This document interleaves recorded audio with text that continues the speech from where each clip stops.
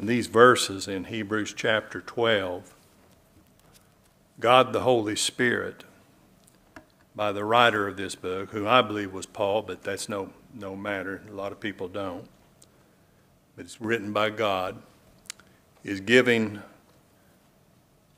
both encouragement to endure, to persevere in the faith under the burden of trials, uh, the things that we go through. Brother Mark prayed all the difficulties that we go through in life.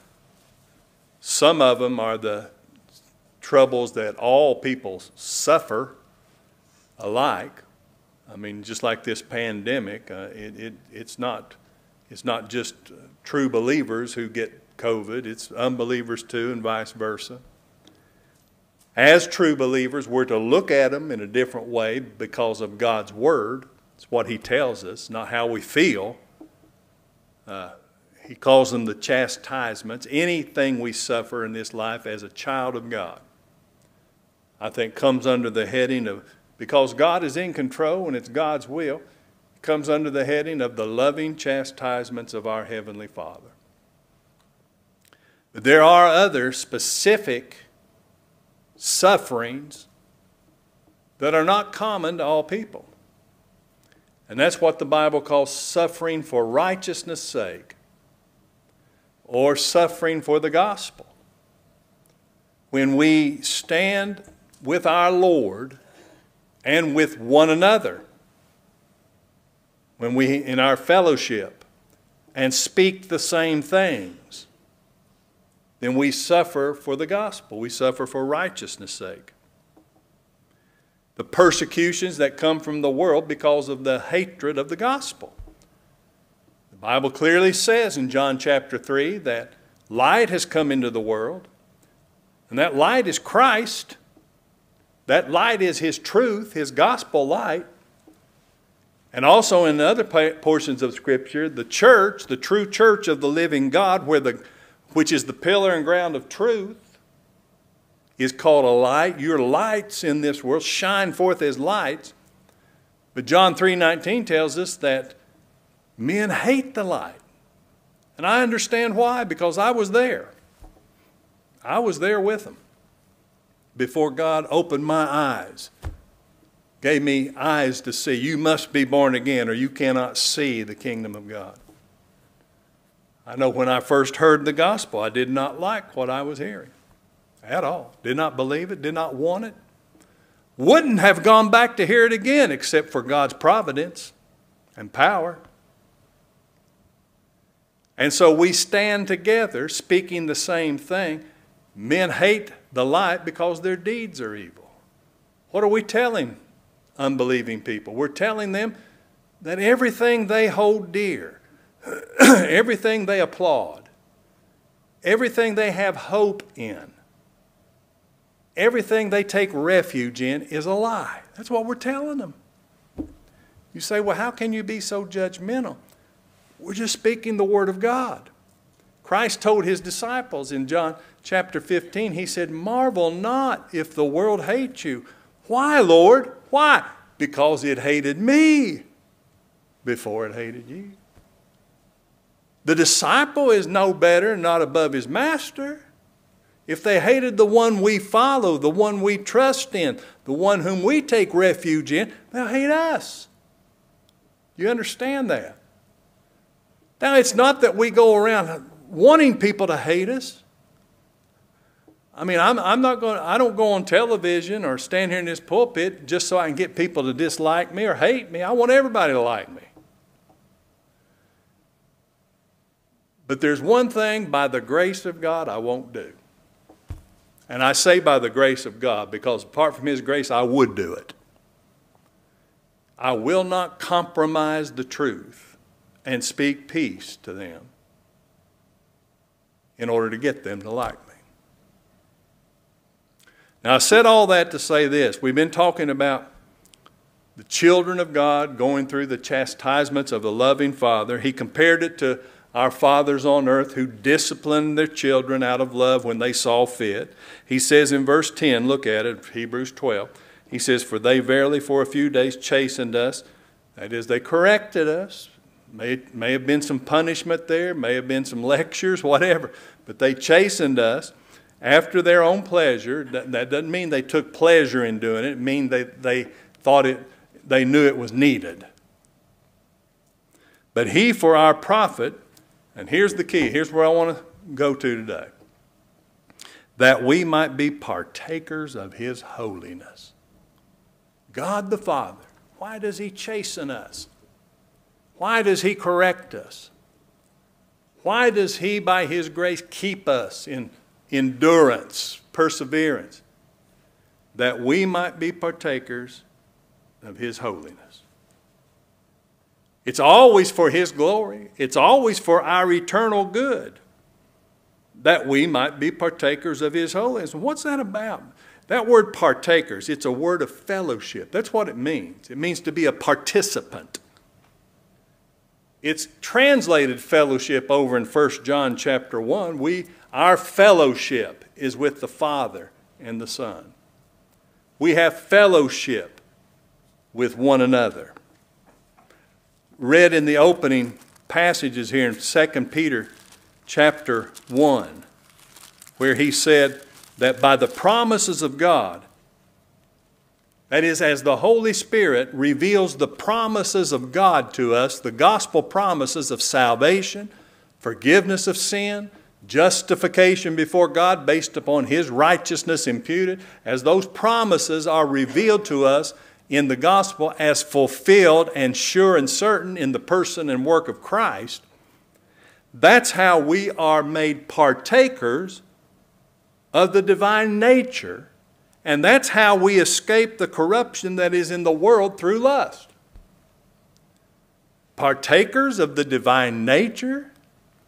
I hear men today talk about, well, that means we have a new divine nature within us. That's not what that means at all.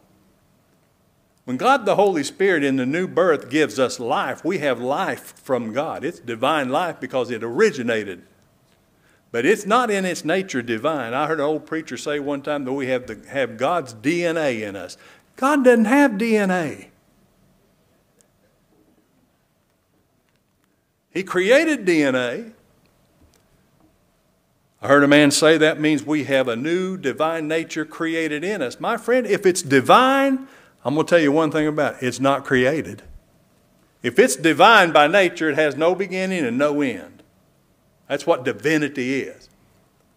There's the nature of God, there's the nature of man, there's the nature of, of angels, there's the nature of animals. But only God has a divine nature, and that's what His holiness is. So, what he's saying here in 2 Peter 1 4 is that by these promises revealed to us by the Holy Spirit that brings us to Christ, we are brought into fellowship with the divine nature, with God, the Father, the Son, and the Holy Spirit. Fellowship. That's what partakers means. And then, what is God's holiness? We sang that song, Holy, Holy, Holy, Lord God Almighty. Normally, when we think of holiness, we think about moral perfection, no sin. Well, that certainly would describe God, wouldn't it? He has no sin. Even the Lord Jesus Christ, both in his deity and his humanity, he is the impeccable Son of God, the, the impeccable Savior. He had no sin, knew no sin. He was never corrupted by sin. Oh, he was made sin. How? By a legal act of divine imputation. God charged him with the debt of the sins of his people. And he was made guilty in that sense. In other words, he was liable to the punishment of God's wrath as our surety, as our substitute, as our redeemer. But he was not, he was sinless and remains so, still is, even in his humanity. We're not. We're not sinless. We're sinners.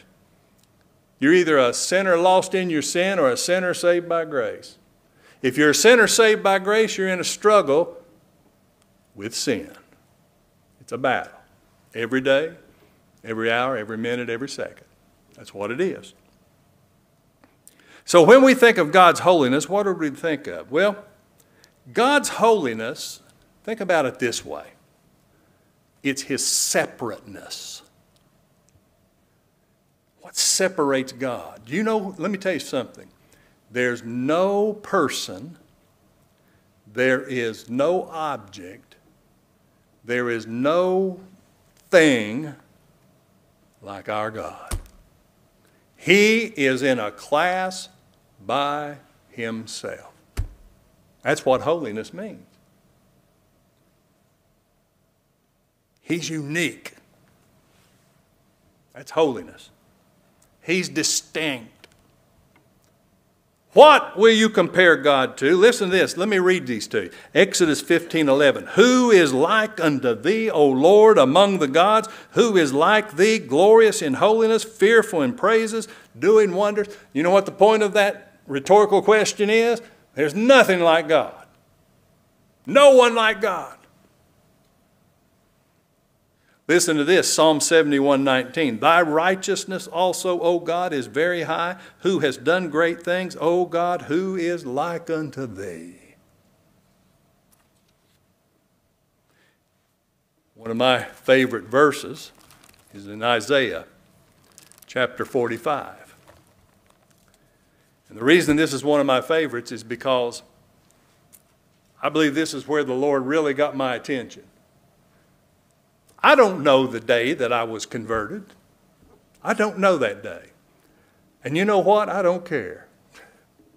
I just know that I was converted at some point in time that God appointed. I don't have to point to a day. You know, these people go around and talk about this is my spiritual birthday. I don't, I don't know what my spiritual birthday is. But I know at some point in time, God got my attention, and He did it with this verse Isaiah 45 and verse 21. Tell ye and bring them near, yea, let them take counsel together. Who hath declared this from ancient time? Who hath told it from that time? Have not I the Lord? And there is no God beside me. And you know how he identifies his uniqueness here? A just God and a Savior. What? A just God? What, what does a just God do? He acts in justice, strict, unmixed, pure justice. Is that wrong? Is that mean? Is that cruel? No, it's God. That's who He is. But then how can He be a Savior too? When I heard that phrase, I thought, man, I've never heard anything like that. I need to look into that more a just God and a Savior. There's none beside me. There's nobody on the equal plane with God. That's what he said. That's holiness right there. A just God and a Savior. And he says, Look unto me and be ye saved, all the ends of the earth, for I'm God, there is none else. Well, the answer to the question, how can God be both a just God and a Savior, is found in the gospel, isn't it? And you know that gospel is a holy gospel. There's nothing else like it. It's unique. And it gives us the answer. God sent forth his Son in the fullness of the time, made of a woman, made under the law, to redeem them that were under the law, that we might receive the adoption of sons. And because you are sons, he sent forth his Spirit. The answer to the question is simply the imputed righteousness of Christ, the Son of God, God man the righteousness of God. That's how God can be both just and still save a sinner like me. Isn't that simple? But people want to complicate it, don't they? And let me tell you something. Go, uh, don't do this, but I, you know, go study all the religions of the world, all the denominations, and you'll never find the answer to that question except in the true gospel. And that sets God apart from every other supposed called, so-called God. Nothing like him. By his power and grace, God has separated a people unto himself. And he's broken. You see, by nature, we're in fellowship with the world. having fallen in Adam, being ruined by the fall, being born in dead in trespasses and sin, coming forth from the womb speaking lies, sinners, alien, by nature alienated from God, by nature no different than the children of wrath. At that time we were in fellowship with the world. But God, who is rich in mercy and grace, what did he do? By those precious promises, Peter wrote, he has made us partakers of the divine nature. Here in Hebrews 12, he speaks of the chastisements and the suffering that declares us to be partakers of his holiness. The holy God has brought unto himself through Christ a holy people. Does that mean we're morally pure without any taint or contamination of sin? No. But it means this it means He has broken our fellowship with the world and brought us into fellowship with Him through Christ by His grace.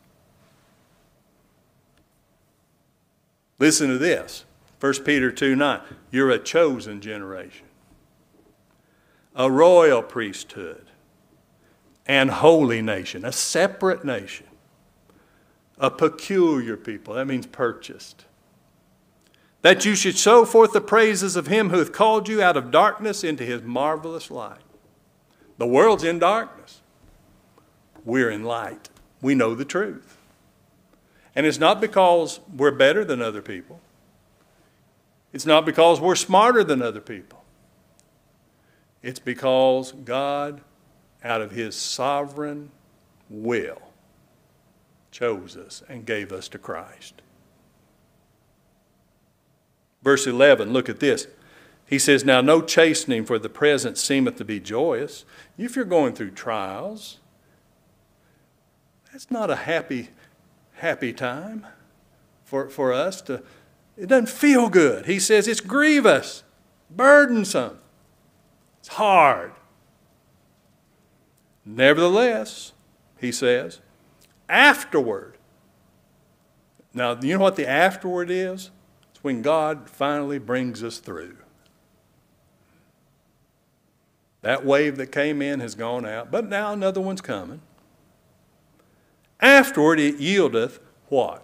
The peaceable fruit of righteousness unto them which are exercised thereby, those who experience these things. What is that peaceable fruit of righteousness?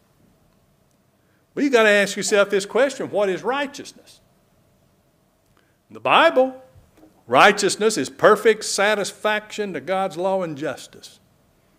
It's a perfection in the Bible now. It's a perfection required by the law of God that can only be found in the person and work of Christ.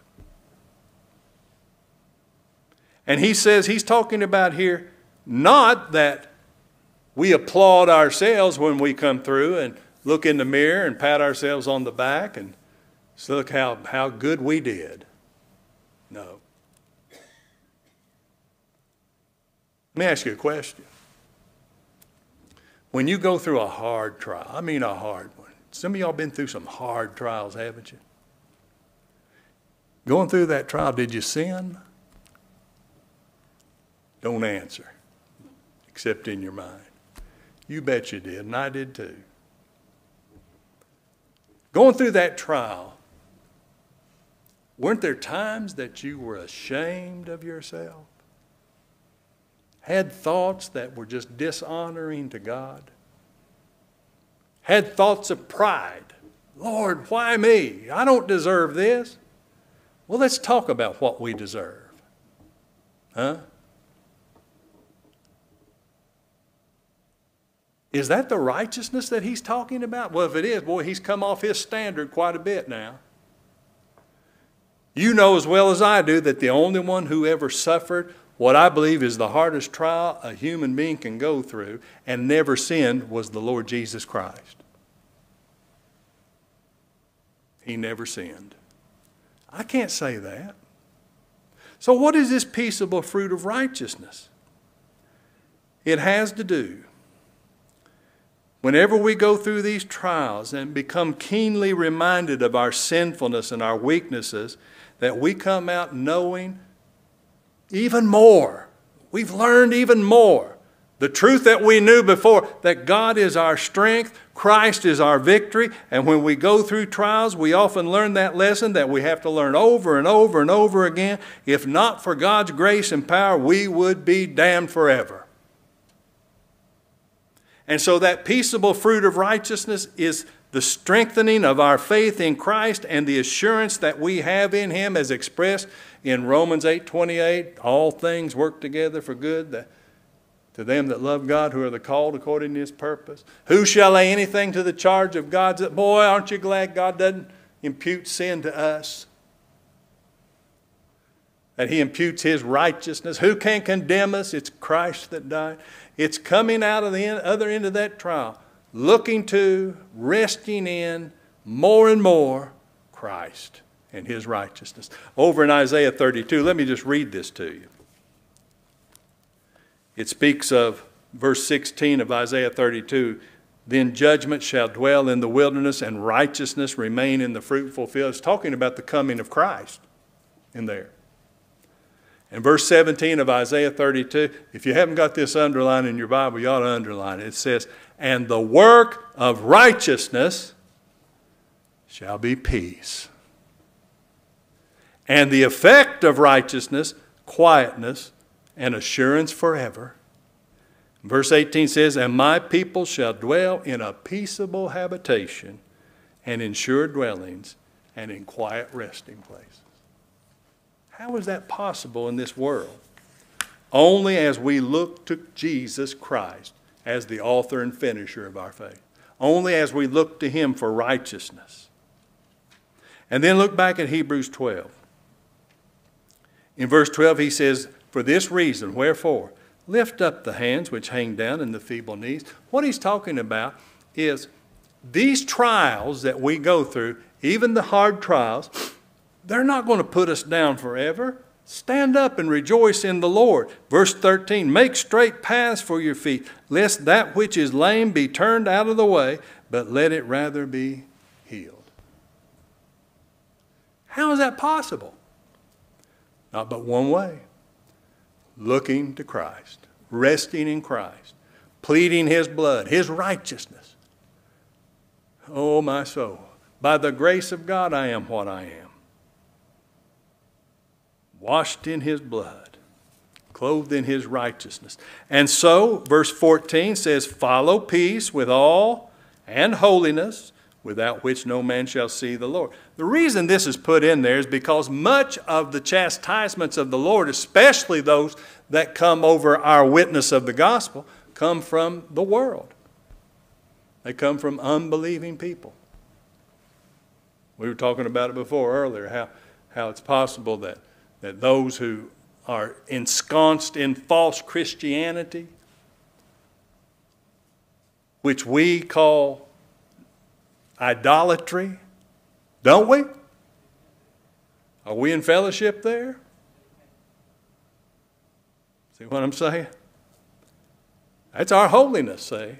It's our separateness, just like God is separate. We're separated in Him. Se- Paul called it separated unto the gospel of God the light that people hate, how they could persecute us if the law would allow it. May do it someday. And so, what does he say? He encourages, well, we're to be peaceful people. Now, we have peace with God through the blood of Christ. That's what sets us apart. We, ha- we have and are to strive for peace with one another in the truth, the gospel of peace. So, what is the significance of peace with all men, and this includes unbelievers? Well, as I said, many of these persecute, you know, he said, Marvel not if the world hates you. Blessed are you when men shall persecute you and say all manner of evil against you for righteousness' sake. What he's saying here is that we're to be peacemakers. Blessed are the peacemakers. Now, we're not to lie to them in order to gain peace. We're not to speak a lie to them. We're not to speak peace to them in order to maintain peace. But we're not to be the ones who provoke persecution by our bad behavior, our bad attitudes. We're to strive for peace with everyone. But is that peace at all cost? No. And holiness. In other words, we're not to compromise that which separates us from the world in order to maintain peace with. Think about our Savior. The ones who persecuted him most in his earthly walk were who? The religious majority, the Pharisees. Now, you know what he could have done if, if he wouldn't have done this, but let's say if to have peace with those guys, what, what could he have done? He could have just come down and he said, Man, you Pharisees, you've really, you've really held the ball. You've really kept it together. You've really taught my people right. Man, I tell you what, when we when we go to glory, you're going to be on my right hand and my left. You could that would have gotten peace. Oh, Caiaphas up there, look at him. Follow his word. But what did he do? He said, Except your righteousness exceed the righteousness of the scribes and Pharisees, you shall in no wise enter the kingdom of heaven. Then what happened? That nature of a snake come out of him. He said, You hypocrites. Was he trying to start a fight? no, he was just telling the truth. They were on the road to destruction and they were leading multitudes on that same road.